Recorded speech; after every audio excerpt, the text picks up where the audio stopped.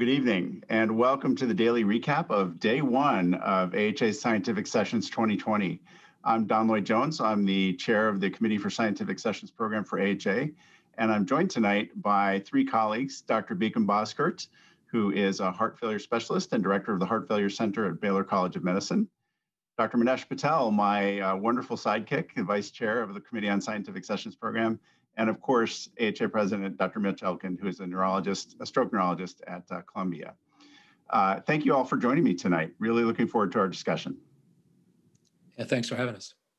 Absolutely. Thank so, you. Uh, want to also reach out to all of our great attendees today. Uh, we had a little Friday the 13th glitch on some of the website issues uh, during the networking hour. We're so sorry about that, but uh, we'll chalk it up to Friday the 13th and uh, ready to move ahead and very excited to see the additional science tonight. So we started off the day with what for me was just an incredibly special opening session. Uh, the, the, what we saw from uh, Drs. Braunwald and, and Wenger, uh, guided by Drs. Yancey and, and Harrington was really special. Mitch, your thoughts about the opening session? Absolutely, Don. You know, I have to say, watching that fireside chat was incredible. You know, there may not have been a fire burning, but it certainly was personal, intimate, and heartfelt. A big debt of gratitude to Bob Harrington and Clyde Yancey for, for leading that conversation. Um, Dr. Braunwald shared reflections from his childhood fleeing the Nazis, and he reflected on how currently we're engaged in a different kind of war against COVID. And I thought one of the interesting points he made uh, was that during World War Two, there was unity among Americans, while this war against COVID has driven us apart in many ways. And uh, he also discussed the impact of World War II on the workforce of science and medicine, and in particular, how it brought so many women uh, into science during the war. And then Dr. Wenger picked up on that theme, describing how COVID has had a disproportionate impact on women, uh, women in science and in medicine, perhaps in the opposite direction, since women, in her words, have been forced to become, quote, housekeepers, teachers, and playground monitors during the pandemic. So, in other words, many women were forced out of the scientific workforce. And so she rightly called for an increased role for women in positions of leadership in medicine and science. And uh, her stories about her early career when medicine was highly segregated were extremely moving. And she made the point that the social justice movement now has a much greater basis of support among people, uh, sort of a broad segment of the population, than even during the civil rights movement. So her reflections on working to end structural racism, I thought resonate a lot with the mission of the Heart Association. So it was a really terrific session, four brilliant leaders representing different generations in cardiovascular medicine. Just terrific. Yeah, I can't remember a, a, session that's more special or that has really moved me more than that. Uh, it was just such a great way to start. Um, but of course, there was a lot of great programming today, lots of wonderful science, and we're going to highlight a little bit of that for you now. Um, and uh, we had our first late breaking science session uh, focusing on some heart failure trials and a trial of prevention of atrial fibrillation. Let's highlight a little bit from late breaking science session one particularly focusing on the galactic and affirm trials. So if I can get the slides up, thanks very much. Um, this uh, first one we'll highlight is galactic HF. This was omecamtiv mecarbil, a new drug that's a, a cardiac myosin activator, so it enhances cardiac contractility. Uh, this was a study of about 8,000 patients. As you can see, all HFrEF patients, um, pretty typical stable chronic heart failure patient population. And what they found was a statistically significant, though somewhat modest, 8% reduction in the composite event of first heart failure or cardiovascular death.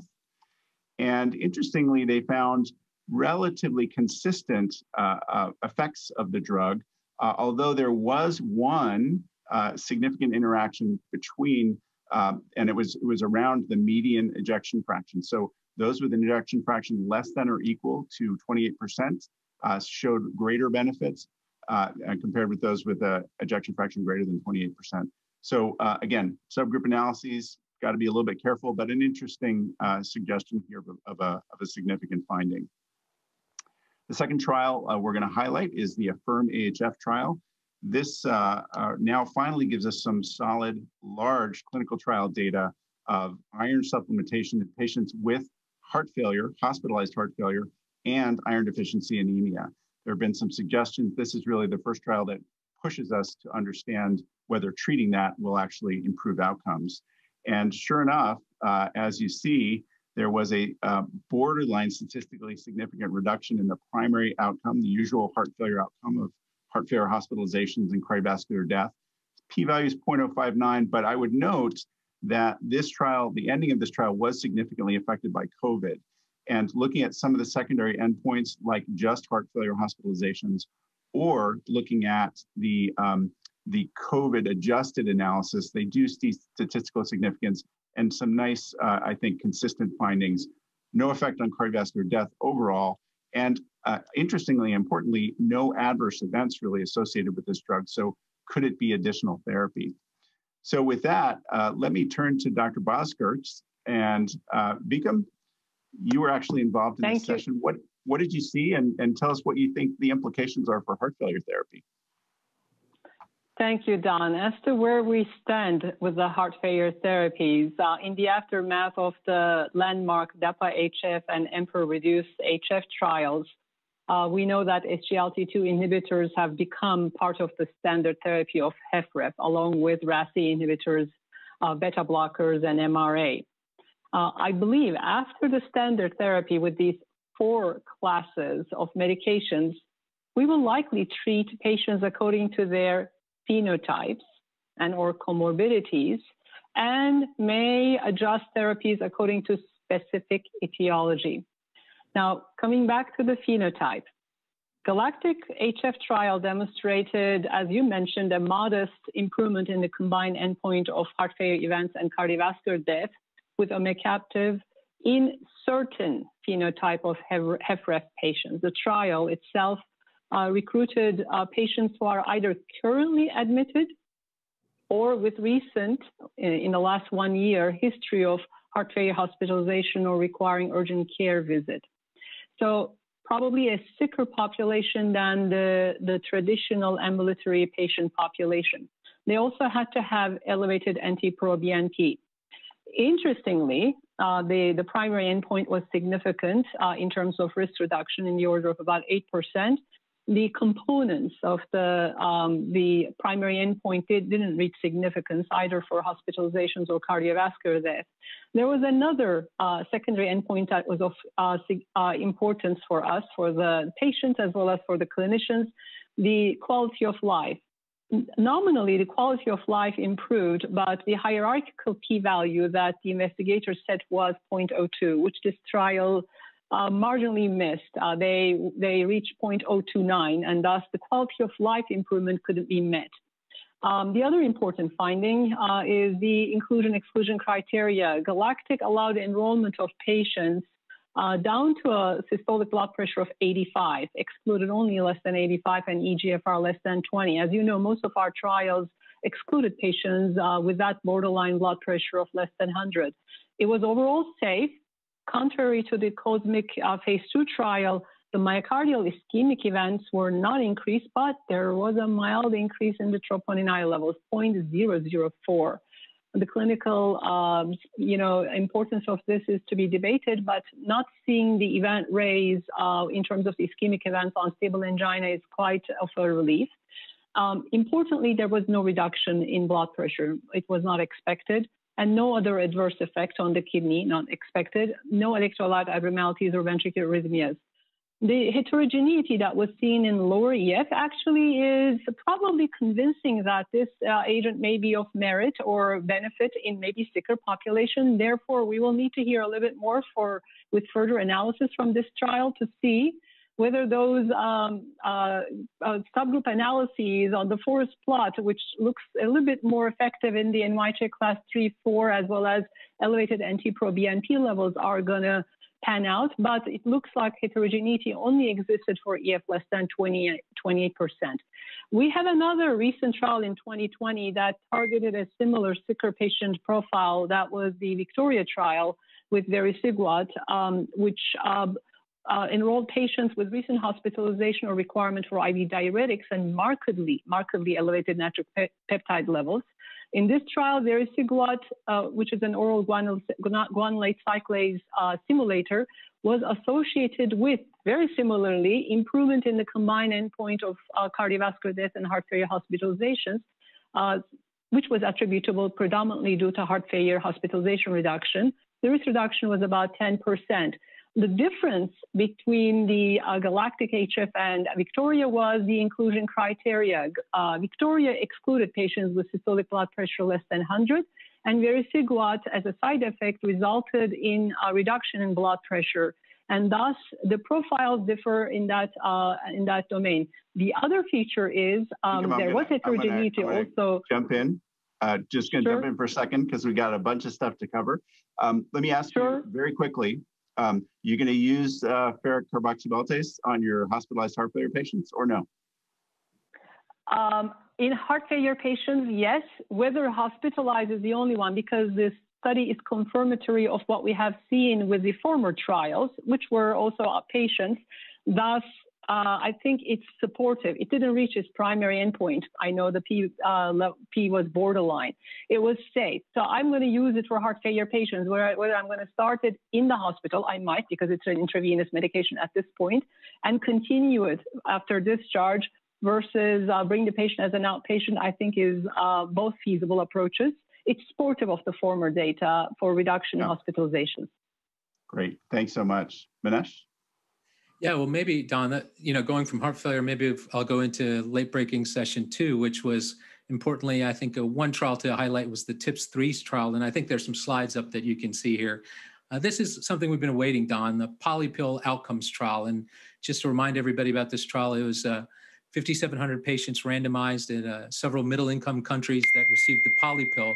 And um, and I guess the the polypill, remembering everybody what's in the polypill was um, importantly ACE inhibitor, statin, uh, beta blocker, uh, and hydrochlorothiazide. And then it was a two by two randomized trial, as often uh, you know our colleagues at PHRI, Dr. Yusuf and others do.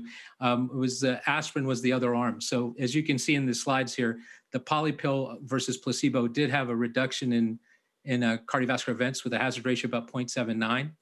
The addition of aspirin in the polypill, so the combination then again, also reduced cardiovascular events. Um, as you can see in the slide here, the hazard ratio is about 0.69. And if you go to the next slide here, you'll see that um, there was a pre-specified endpoint to look at the primary endpoints and to look at angina. Again, aspirin seemed to help that. And the last sort of finding, you know, there's no free lunch done, so we always wonder about polypill and aspirin. Was there an increase in GI bleeding or major bleeding, at least in this trial in these uh, patients?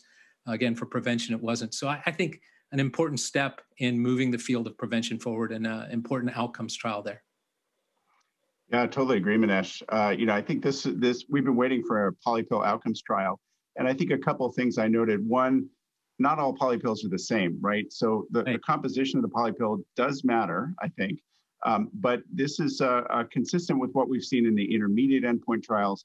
Now we've got a big international trial that shows us uh, benefit. I think polypills are here to stay. We need to think about the, the composition. And I think the aspirin data are really interesting. Um, you know, recent trials in well-resourced settings uh, where patients are already being treated and have their cholesterol and blood pressure well controlled, aspirin does not seem to add a lot of net benefit. And what I mean by net benefit is, yeah, still does reduce cardiovascular events, but offset by bleeding. In this setting, sort of a less resourced setting, where patients are getting all things started at the same time, aspirin does seem to add a little bit of value. So I think that that debate will rage, but um, but uh, polypills I think do represent a very interesting and effective strategy for population-based approaches to prevention. Well, so Don, I know, we're running, uh, I know we're running short on time, so I'll just go into a couple more um, quick yeah. ones. Um, in the other featured sciences, it was important to recognize that today we also had the ARREST trial presented a phase two single center open label randomized trial of advanced reperfusion strategies using ECMO and out of hospital cardiac arrest compared to usual care. A single center in Minneapolis, uh, 30 patients stopped early by the DSMB for benefit. We'll have to see that in bigger centers, multiple places to see if that holds. And then, of course, tomorrow I'm looking ahead at uh, late breaking session three, where I, I know we're going to see important studies involving um, myocardial uh, infarction without obstructive coronary disease, MINOCA, Uh, we're going to see an in-depth study there. We're going to see ticagrelor versus clopidogrel in elective PCI Alpheus, and we're going to see rivaroxaban in patients with AFib and prosthetic mitral valve. So a lot of interesting stuff coming tomorrow. But I'd be interested, uh, uh, you know, we're all looking forward, Mitch, to uh, the presidential session. Maybe you can give us a little bit of a teaser on what that's going to hold tomorrow.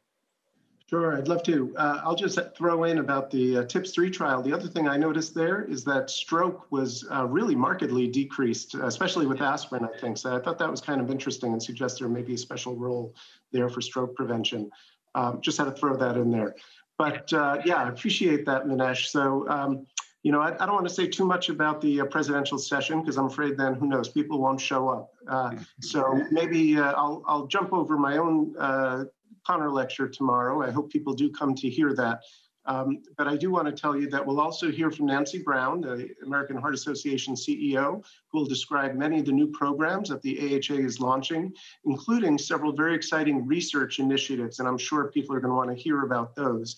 We'll also, of course, be giving several awards, including the Eugene Braunwald Award to Dr. Nanette Wenger, which kind of brings us full circle, I think. So I hope everybody gets a good rest tonight and uh, is ready to kick off tomorrow morning for day two.